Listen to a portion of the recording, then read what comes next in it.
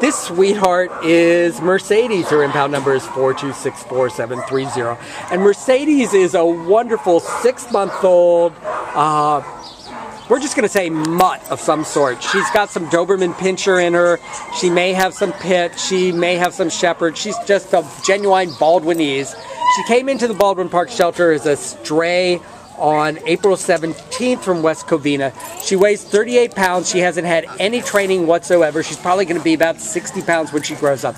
But what she is really, really good at is being affectionate and sweet. She hasn't had, you know, she doesn't know how to walk that well on leash, but she loves people and she's good with other dogs.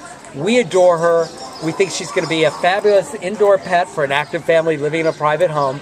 This is a fabulous Mercedes and she's a race car and a gem. We adore her.